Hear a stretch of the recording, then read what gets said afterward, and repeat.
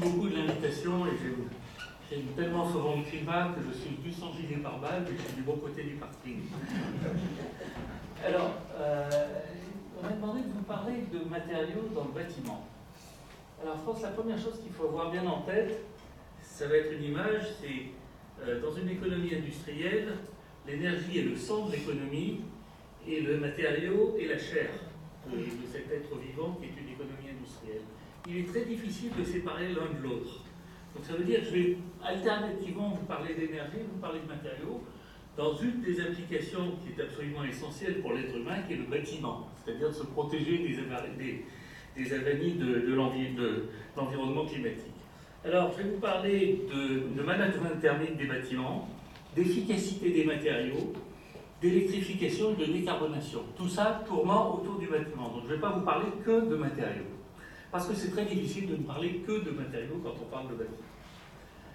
Alors, je vais commencer par ce que j'appelle le big picture, l'image globale. Alors, je vais rien vous apprendre, mais je pense que c'est important de voir un peu les limites de l'épure.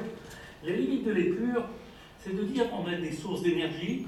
Alors, vous avez le solaire, le vent, l'énergie mécanique, l'hydroélectrique, le, charbon, le gaz, le nucléaire, pas par ordre de favoritisme, ça bien. Euh, vous avez des vecteurs énergétiques qui sont l'électricité, l'hydrogène, la chaleur. Puis vous avez des usages de ces énergies. Et ces usages, parlerai je pourrais vous parler d'industrie, je pourrais vous parler de bâtiments, je pourrais vous parler de transport. Donc je vais vous parler essentiellement de bâtiments. Ça, c'est la première image. Deuxième image, toutes ces choses-là sont couplées. C'est-à-dire pour produire, transporter et utiliser de l'énergie, il faut fabriquer des trucs. Euh, Jusqu'à plus ample informé, contrairement à ce que nous a dit pendant des décennies, la richesse d'une économie industrielle, c'est sa capacité à faire des choses pas simplement sa capacité à en parler. Euh, donc, on doit faire des choses. Ça suppose de produire l'énergie, ça suppose de fabriquer des câbles, de fabriquer des tuyaux, de fabriquer des dispositifs de stockage, de fabriquer des produits manufacturés et de fabriquer des bâtiments et des bâtiments avec une isolation. Vous parler beaucoup d'isolation dans mon discours. Euh, pour pouvoir fabriquer des choses, vous avez besoin d'espace, vous avez besoin d'énergie, et vous avez besoin de matériaux de ressources, de ressources minérales. C'est ce dont vient de vous parler euh, Olivier Vidal, et, et, fort opportunément, euh, il nous a rappelé qu'il y avait des tas de matériaux qui ne sont pas forcément ceux qui font la tête des, chapitres des journaux, mais qui sont essentiels à la construction d'une économie industrielle, qui sont des matériaux structurels. Et puis pour fabriquer des choses d'une manière soutenable, parce que c'est quand même ça l'objectif qu'on doit se donner, si on est un peu responsable, eh bien, il faut se poser la question de la soutenabilité des ressources, il faut se poser la question de l'impact sur l'environnement, il faut se poser la question de la contribution au, euh, au réchauffement euh, planétaire, au global warming. Alors maintenant, j'aime bien parler des shadows, parce que je trouve qu'ils avaient une sagesse infinie qu'on aurait bien fait de ne pas oublier. Et vous avez le, professeur Shadoko ici, on peut se demander est-ce que je peux décarboner la source de chaleur? Est-ce que je peux monitorer la, source de chaleur, la maîtriser Est-ce que je peux minimiser les pertes de chaleur? Et est-ce que je peux minimiser l'empreinte carbone de ce que j'appelle les, les, les, boucheurs de trous de la passoire? Donc un bâtiment c'est une passoire, de la chaleur tombée dedans, on n'a pas envie que ça chauffe les petits oiseaux, et donc j'ai un certain nombre de stratégies que je peux imaginer. Alors si je regarde, le premier truc c'est de dire ben, je peux essayer de décarboner la source de chaleur en électrifiant le chauffage, euh, ou en décarbonant la, tout en décarbonant la production d'électricité. Je peux essayer d'avoir une maîtrise de la source de chaleur en essayant d'avoir une digitalisation de l'énergie, de l'usage d'énergie. Je peux essayer d'améliorer la perte de chaleur en me posant la question de l'efficacité thermique des bâtiments. Ça veut dire des bâtiments nouveaux, mais dans les pays occidentaux, ce que ça veut surtout dire, c'est la rénovation des bâtiments. Chaque fois qu'on vous inaugure un bâtiment à énergie positive, vous êtes à peu près certain qu'on l'inaugure parce que ça permet de l'inaugurer, euh, mais ce n'est pas ça qui va résoudre le problème. Ce qui va résoudre le problème, c'est d'être capable d'avoir une maîtrise de la thermique des bâtiments existants. Et euh, diminuer, euh, diminuer l'empreinte carbone des objets euh, qui bouchent les trous de la passoire, autrement dit des vitrages, des, de l'isolation des bâtiments, et ça veut dire essentiellement quelle est l'efficacité en termes de CO2, ça veut dire aussi bien en termes d'émissions de CO2 qu'en termes d'utilisation d'une énergie des procédés qui permettent de fabriquer les matériaux qu'on utilise dans les bâtiments. Alors vous voyez, quand je vous ai donné ce paysage-là, vous comprenez, je ne peux pas vous parler que des matériaux, de la même manière que quand on vous parle de l'énergie, on ne peut pas vous parler que de l'énergie. La chair et le sang sont très fortement couplés, comme vous le savez. Alors, si je regarde le cas français, dans les bâtiments, 44% de l'énergie, on peut décrire de 80% les pertes d'énergie en faisant une isolation correcte. Si on fait une isolation débile, juste pour le plaisir d'inaugurer avec une isolation à 1%, il ne faut pas vous étonner que ça ne marche pas, une isolation à 1 euro. Donc vous pouvez complètement saboter l'idée d'isoler un bâtiment en le faisant mal. Euh, si vous diminuez de 10% la consommation d'énergie, c'est équivalent dans, un bâtiment, dans les bâtiments, c'est équivalent de 7 euh, centrales nucléaires. Ce n'est même pas tout à fait négligeable, ça mérite de poser la question. Ça peut être fait en 10 ans, alors que les technologies et les matériaux qui permettent de le faire sont produits localement, elles sont disponibles, et ce n'est pas une industrie que vous délocalisez. Donc ça, c'est une des choses qui me rend sympathique, c'est-à-dire que vous créez de la richesse en faisant des choses à l'endroit où vous les faites. Euh, la production du verre, la production du plâtre, la production des bâtiments, d'isolation du bâtiment, peuvent être partiellement électrifiées. Alors encore une chose, ce n'est pas quelque chose qui se décrète par un claquement de doigts ministériel, euh, c'est quelque chose qui s'analyse d'un point de vue technique. Il y a des dispositifs qu'on peut électrifier facilement, des dispositifs qu'on a du mal à électrifier facilement, à électrifier, ne sait pas électrifier. Mais ça veut dire que même à supposer que vous ayez une électricité parfaitement décarbonée, même à penser que l'électrification est, est, un vecteur extrêmement efficace pour décarboner une économie, il y a des choses qu'on ne sait juste pas faire. Alors, je vais vous parler euh, de deux aspects. Je vous parler de la minimisation des pertes thermiques dans le bâtiment. Alors, je vous parle de pertes thermiques. C'est très occidental ce point de vue. C'est-à-dire quand on est dans, un climat qui a tendance à, faire froid, où il a tendance à faire froid, on a tendance à penser comment est-ce que je peux me débrouiller pour ne pas avoir froid. L'évolution climatique peut nous conduire à voir au contraire, à nous adapter à des climats qui vont être plus chauds. Donc la question qui va se poser, c'est comment je peux essayer d'avoir froid? Alors je vous soumets cette cette idée-là. Si au lieu de climatiser la totalité d'une pièce, on faisait l'équivalent de mettre un chandail, c'est-à-dire si je pouvais avoir une veste climatisée plutôt qu'une pièce, pièce climatisée, il y aurait peut-être des choses intelligentes à faire en termes d'efficacité énergétique. Alors évidemment, ce n'est pas tout à fait facile, on préférait avoir une veste, climatisée qui n'est pas branchée au mur avec un cordon, tout ça on a l'air un peu bête. Alors le deuxième point, donc je vais vous parler de comment minimiser les pertes thermiques dans un bâtiment. Et je vais vous parler de comment minimiser l'empreinte carbone de la fabrication des matériaux pour ces pertes pour lutter contre ces pertes Alors, euh, vous voyez les, deux exemples dont je vais vous parler. À gauche, vous avez l'intérieur, j'adore cette photo, vous avez l'intérieur d'un four de verre. Alors, un four à verre, c'est un truc, c'est très chaud. On commence par, par fondre des tas de trucs, après on le laisse buller parce qu'on n'a pas envie d'avoir des bulles de verre. Euh, c'est une bonne question d'ailleurs. On n'a pas envie d'avoir des bulles dans le verre, ça veut dire qu'il va falloir attendre longtemps de se débarrasser des bulles, ça va coûter très cher en énergie. Si le client, et j'en reviens à ce que disait, disait François-Marie tout à l'heure, si le client dit après tout ça m'est un peu égal d'avoir une bulle de temps en temps, il diminue de manière considérable le poids énergétique de la fabrication de ces vitrages. Donc ça, c'est aussi des choses qu'il faut garder en tête. C'est le problème est technique, mais il n'est pas que technique. Sur l'autre côté, vous avez quelqu'un qui est en train de poser de la laine de verre d'une manière normale, donc difficile. Alors, je vais vous parler de ces deux matériaux-là. Donc maintenant, je vais vous parler de diminuer les pertes thermiques, de décarboniser les procédés, de développer l'électrification des procédés, et puis j'en arriverai à quelques conclusions. Alors, minimiser les pertes thermiques. Voilà une maison. Voilà typiquement la manière dont je perds l'énergie euh, dans, un pays, euh, dans un pays à climat tempéré. La manière dont je perds l'énergie, c'est d'une part par le renouvellement de l'air, d'autre part par la toiture, par les murs, 25%, par les vitrages, 13%, le sol, c'est à peu près 7%, les ponts thermiques, c'est 5%. Chose qui est très intéressante. Quand on vous dit qu'il faut isoler les bâtiments et qu'on oublie juste qu'ils veulent faire bien, euh, ben, je veux dire, dans les ministères, je crois que pont thermique et pont d'Avignon ne font pas vraiment la différence. Donc vous êtes dans une situation où on dit qu'il faut isoler, et puis on ne vous dit pas comment il faut isoler. Comment il faut isoler Il faut le faire bien, et ça veut dire que vous avez tout un autre problème, qui est le problème des corps de métier qui sont capables de faire ça. Donc ça veut dire qu'il faut fabriquer un corps de métier qui sait faire ça, si on doit le subventionner, on doit le subventionner au résultat et pas à l'action, qui est quand même le minimum. Et euh, ça vous éviterait de dire des bêtises gigantesques du style, si je dis que la, rénovation des bâtiments, euh, grosso modo, ça diminue de 2% la consommation énergétique, ce qui est tout à fait vrai quand vous le faites comme un cochon. Si vous le faites proprement, vous diminuez 70, de 70% la rénovation énergétique. Donc vous avez un facteur 35 entre le mal le faire et bien le faire. Après, quand vous faites une moulinette, de règle de 3, qui est grosso modo la manière sophistiquée des économistes de raisonner, et qui vous disent que quand j'isole le bâtiment, ça revient à 350 euros la tonne de CO2, et bien vous avez juste à leur dire votre donnée d'entrée que vous avez prise est égale à 2%. Si je la prends égale à 70%, j'ai un facteur 35.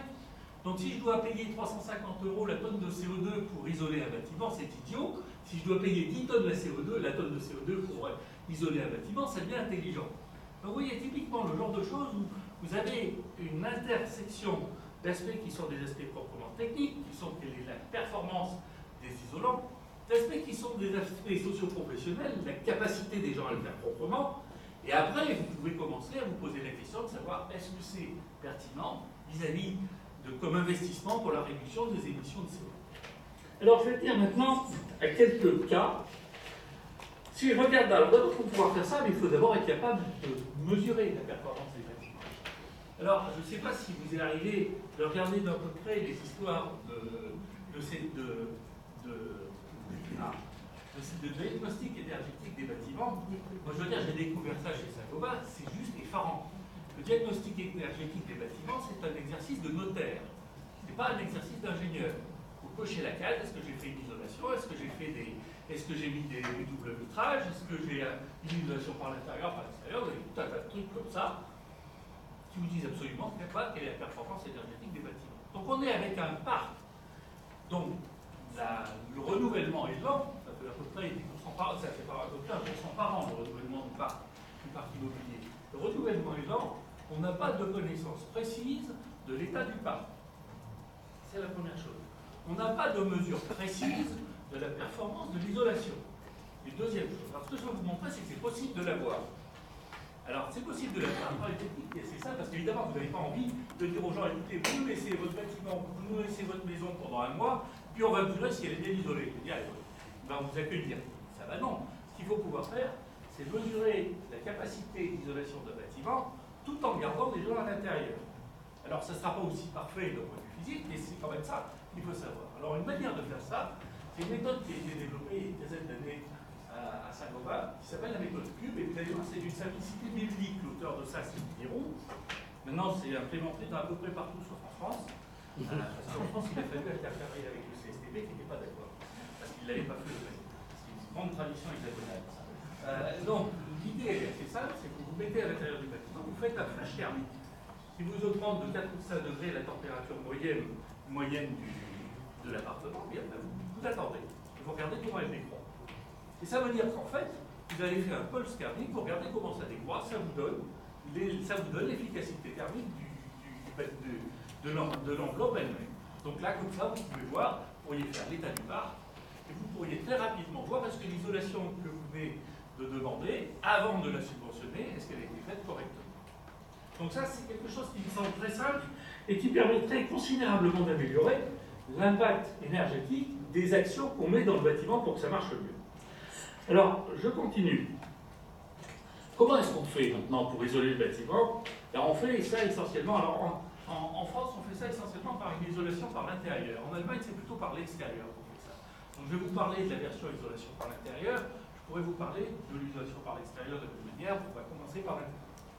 Alors, essentiellement, il y a un truc qui est très très vicieux c'est que euh, pour isoler les bâtiments, bah, le meilleur isolant qu'on connaisse, c'est le verre vous allez quand même difficilement mettre un appartement euh, en base de devoir, hein, ça, ça a moyennement bien marché. Euh, donc en fait, ce que vous faites, c'est que vous prenez une laine, c'est-à-dire de la matière qui empêche l'air de bouger.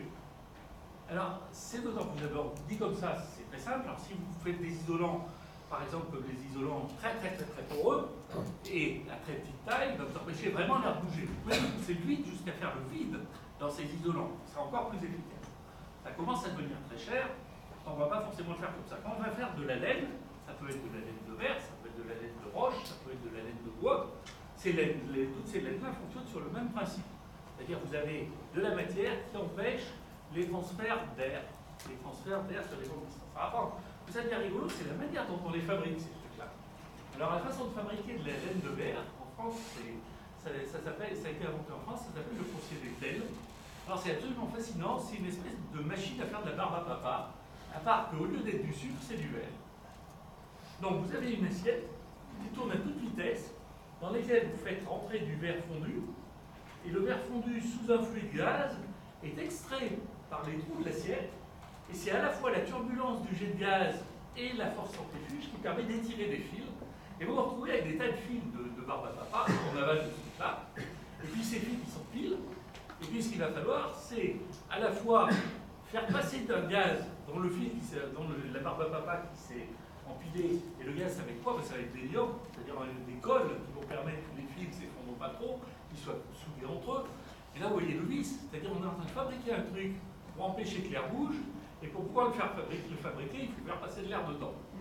Donc c'est un, une technologie qui est tout à fait intéressante, et qui, quoi qu'étant bien utilisée d'un point de vue technologique, euh, nécessite toujours des nouvelles études d'un point de vue scientifique. on a un petit bijou de mécanique des fluides avec un écoulement un écoulement qui est tout sauf laminaire, qui permet à la fois d'extraire la chaleur et d'étirer la, fibre de verre. Après, vous avez la question de savoir combien il faut faire de pompes pour avoir la tenue mécanique qu'il faut, mais que pas trop, parce qu'on a quand même envie de la compresser pour la transporter.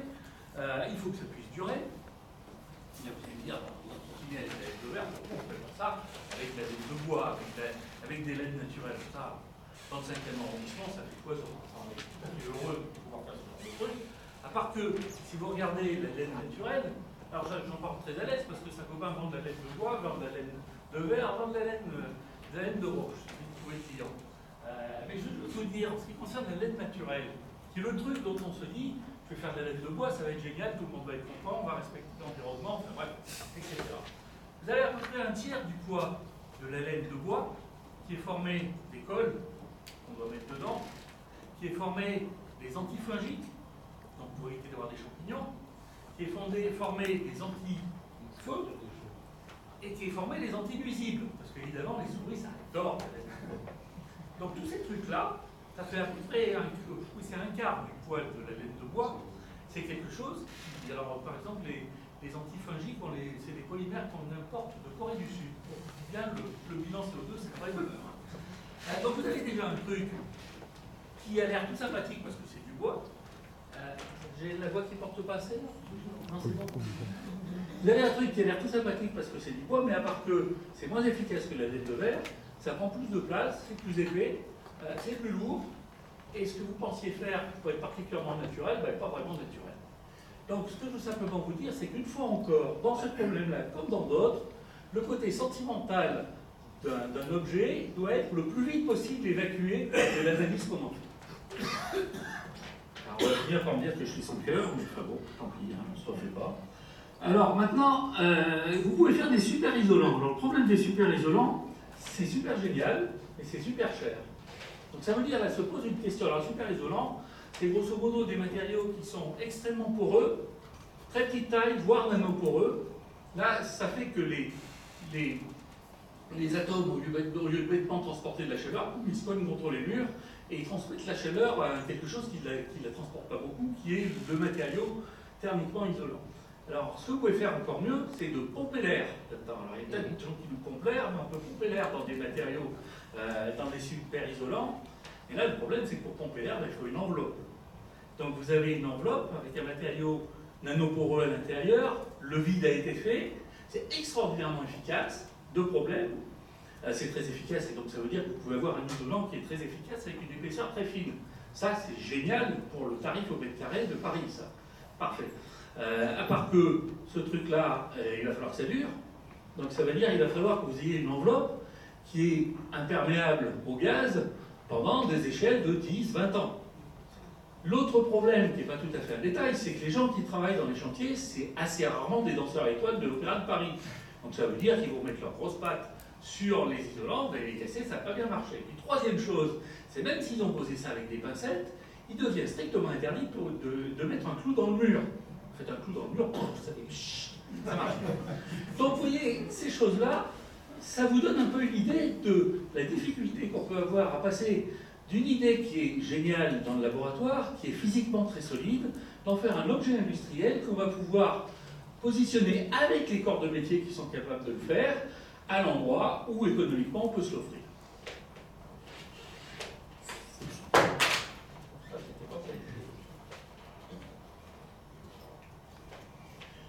Voilà quelques photos de super isolants. Alors, pour vous dire qu'on peut faire de la science là-dessus, ben, en gros, évidemment, ce qu'on a envie de faire, c'est un matériau. Alors ça, c'est en métavisme naturel. Euh, quelqu'un qui fait de la science des matériaux, grosso modo, il sait que ce qu'il fabrique, c'est de la microstructure, et ce qu'il vend, c'est des propriétés. Donc en fait, pour faire ça, il faut être capable de, de, corréler le procédé et la microstructure, et de corréler la microstructure et les propriétés. Donc pour ça, on peut faire des calculs, passer ma vie à faire ça, et puis de toute façon, il faut faire aussi avec des expériences. Donc on peut essayer d'avoir une caractérisation des microstructures. Alors voilà, sur une laine de verre, voilà comment est-ce que vous pouvez faire une observation en sonde tomographique X pour voir quel est l'arrangement des, fibres, pour pouvoir regarder qu'est-ce qui se passe entre les fibres pour les coller entre elles.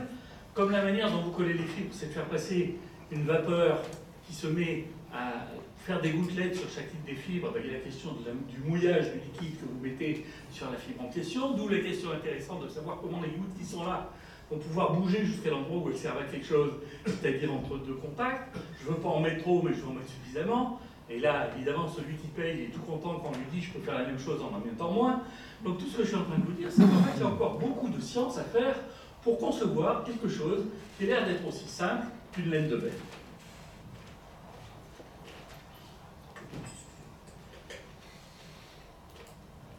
Alors vous avez ici sur la gauche le, la barbe papa. C'est vraiment joli à voir ça. Une usine de fabrication de, laine de verre. Enfin, on se dit comment est-ce qu'on a pensé un truc comme ça. D'ailleurs, je ne sais pas comment est-ce qu'ils ont pensé un truc comme ça. Bon. Alors maintenant, si je me pose plus la question de la laine de verre, mais que je regarde la question de l'isolation par les fenêtres, donc ça veut dire que ça a de sens de mettre des doubles vitrages que quand vous avez fait tout le reste. Et ce qui perd vraiment, c'est les murs, c'est le plafond, c'est le toit. Donc vous devez commencer par faire ça, et puis après vous regardez comment le double vitrage peut vous éviter?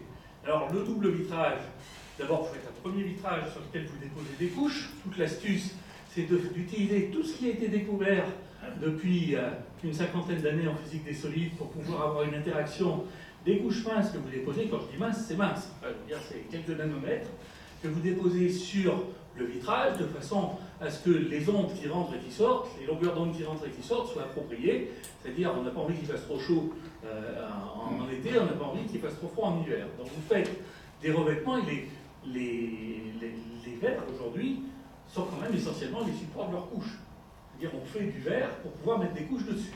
après, vous pouvez vous dire, euh, ce que je vais faire, je vais en mettre deux, avec toujours la même idée de dire si j'empêche le, transfert, parce que j'empêche le gaz de bouger, bah d'abord je peux enlever le gaz, je peux mettre de l'argon, du crypto, de l'argon plutôt que de, l'air. Et puis par contre, là, il faut que je me débrouille pour que ça reste là. C'est-à-dire que euh, l'air, et notamment l'air humide, ne rentre pas dans le double vitrage, de façon à pouvoir continuer à avoir l'isolation par la couche de gaz qui ne bouge pas entre les deux, entre les, deux plaques de verre. Alors évidemment, pour maintenir deux plaques de verre écartées, bah, il faut un séparateur. Donc le séparateur, en quoi vous allez le faire bah, vous, allez, essayer de le faire dans un matériau qui est à la fois non poreux, parce que vous n'avez pas envie que l'air rentre, mais qui n'est pas conducteur. Donc là, la schizophrénie habituelle de l'ingénieur, c'est si non poreux, j'aimerais que ce soit un métal, et si je veux qu'il ne soit pas conducteur, je vais plutôt prendre un polymère. Donc en fait, je vais essayer de faire un mélange des deux. Je vais essayer d'avoir un métal qui me sert à ne pas être poreux, qui est déposé sur un polymère, qui me sert à faire la séparation et à ne pas conduire. Donc là aussi, il y a tout un tas d'aspects qui sont, qui sont intéressants, qui sont d'une part d'optimiser les revêtements sur, les, sur le verre, d'optimiser les, les, séparateurs, d'optimiser la durabilité. Alors ça, c'est une autre chose qui est très importante. Quand on passe du laboratoire à l'industrie, il y a une notion qui est essentielle, qui n'est pas simplement la notion de la faisabilité, de la mise en œuvre, c'est la notion de durabilité. Il faut impérativement se demander est-ce que les produits que je suis en train de faire sont des produits qui vont être performants dans la durée. Autrement dit, la performance, ça n'est pas simplement une notion de j'ai réussi une fois à avoir une bonne performance et à publier dans Freeze Letters, c'est j'ai réussi à avoir une performance qui dure pendant la durée de vie de, mon objet industriel. Alors, on peut essayer de faire des trucs plus sophistiqués. Là, vous avez ce qu'on appelle des verres électrochromes. Ça, c'est très joli. Hein. C'est des verres où, grosso modo, on essaye d'éviter d'avoir un, un, un, volet en ayant en espèce, on fait des couches qui sont des espèces de batteries, si vous voulez. Vous avez des, électrodes qui sont des oxydes de, des oxydes de tungstène, puis vous avez un électrolyte qui contient du, du lithium, et quand le lithium, sous l'effet d'un champ électrique, pénètre les électrodes en oxyde de tungstène, elle change de propriété optique, et comme ça, vous avez quelque chose qu'on appelle un électrochrome, qui permet, vous appuyez sur un bouton, votre truc devient tout noir, vous appuyez sur le bouton, il revient tout, transparent. Donc ça, ça peut être une manière efficace aussi de gérer la, pénétration de la lumière à l'intérieur du bâtiment. Alors, quand je vous dis ça comme ça, il devient tout noir, ça a l'air joli comme l'antique. Le problème, c'est qu'il met des plombs à devenir tout noir. il y a d'autres techniques que celles de, de l'électrochrome. Il y a des techniques consistant à prendre des cristaux liquides qui, sous l'effet du champ électrique, s'orientent de telle manière à ce que les propriétés optiques changent. Euh, là, l'avantage, c'est que ça va vite. Donc, pour les gens qui ne sont pas patients, c'est super. L'inconvénient, c'est que les cristaux liquides, comme n'importe quel polymère, c'est un truc qu'ils n'aiment pas, c'est la lumière. Alors, quand on veut gérer la lumière, d'utiliser un truc qui n'aime pas la lumière, ça veut dire que la question de durabilité, elle va revenir, euh, revenir rapidement. Alors ça, vous pouvez l'utiliser pour faire euh, des, toits en, des toits en verre dans les porches, parce que de toute façon, les gens ne gardent jamais leur porche plus de deux ans, donc que ça vieillisse pas, c'est pas un drame. Euh, bon, maintenant, l'utilisation de la porche, quoi. Même si, comme dirait l'autre, on adore les bagnoles vis-à-vis de la lutte contre le réchauffement climatique, ça laisse un petit peu rêveur. Alors, je continue maintenant, ce que je vais essayer de vous dire pour avoir montré quelques produits qui permettent de contrôler la thermique des bâtiments, je vais vous parler de la décarbonisation de ces produits. Alors, décarbonisation de ces produits, bon, chez Saint-Gobain, euh, grosso modo, on a, des produits qui, qui, coûtent horriblement cher en énergie. si vous prenez le verre, c'est à très haute température, donc on fait 0,6 euh, kg de, de, CO2 par kilo de verre. Alors la grandeur, c'est pas la bonne grandeur, c'est pas le kilo de verre, c'est le mètre carré, ce qui est en passant, parce que souvent c'est la surface, pas du volume. Si vous regardez l'acier, parce qu'on fait quand même encore un peu d'acier chez Saint-Gobain, les, tuyaux, les, tuyaux, de pont à mousson, hein. là on est à 1,8 kg euh, de CO2 par, euh, par acier, par fonte, et vous avez 0,9 kg de CO2 par ciment. Donc ça, c'est les trois grandes familles de procédés qu'on utilise à Saint-Gobain. Alors comment est-ce qu'on peut faire pour les rendre un peu moins euh, dommageables en termes d'émissions de CO2 Alors, si je regarde le verre, encore quelques ordres de grandeur. Si vous regardez une, euh, usine de fabrication de verre, genre de verre, je ne vais pas vous parler du verre à bouteille, je vais vous parler du verre des, fenêtres. Alors voilà ici une, usine de fabrication de verre. Donc vous commencez, vous rentrez à l'intérieur de l'usine, vous arrivez avec des tas de trucs, avec du sable, avec euh, des cailloux divers et variés, avec du fondant. Euh, évidemment, le verre, vu qu'on met des carbonates et qu'on brûle du gaz, c'est pas très étonnant qu'on émette, émette, du CO2. Il y a double solution pour éviter d'émettre du CO2, c'est-à-dire après tout, est-ce que je ne pourrais pas brûler autre chose que du gaz pour chauffer? Est-ce que je ne pourrais pas mettre autre chose que des carbonates pour fabriquer le verre? Donc ça, c'est des voies qui sont en exploration. Alors vous commencez par fabriquer votre, votre verre fondu, après, vous êtes dans une chambre qu'on appelle une chambre d'affinage. La chambre d'affinage, c'est pour évacuer les bulles. Euh, et euh, une fois que c'est sorti de la chambre d'affinage, vous faites ce truc génial qui est le float, c'est-à-dire vous avez un grand bain d'étain sur lequel passe le verre fondu et qui s'étale à la longueur qu'on veut, on tire comme on veut, on attend un petit moment, puis on sort des plaques de verre comme ça, on les coupe de l'autre côté. Elles arrivent à l'endroit où on dépose les couches dont je vous ai parlé tout à l'heure, ça marche comme à la parade, puis à la fin vous les dites à vendre de l'autre côté. Alors si je me dis comment est-ce que je peux faire pour éviter d'émettre du CO2 dans ce machin-là alors regardons quelles sont les différentes, les différentes contributions. Si je regarde du verre, ben, je mets du sable, je mets du carbonate de sodium, je mets de la chaux, plus du reste, d'autres bidules. Euh, je chauffe tout ça et je me retrouve avec du verre qui évidemment, j'ai mis du CO2 parce que d'une part, euh, comment ça marche J'ai fait une bêtise. J'ai mis du CO2 parce que d'une part, j'avais utilisé du carbonate de sodium, et puis j'ai émis du CO2 parce que j'ai utilisé du gaz pour fondre tout ça. Alors, qu'est-ce que je peux faire? Eh bien, je peux essayer de remplacer les carbonates, je peux essayer de chauffer de manière décarbonée. Et la troisième chose, c'est que là, je suis en train de partir de sable, c'est-à-dire du silice, je peux faire du verre, et la raison pour laquelle je mets des carbonates, c'est que ça me permet de diminuer le point de fusion. Donc, qu'est-ce que je peux faire? Bah, Si au lieu de mettre du verre, c'est au lieu de mettre de la silice, je mets du verre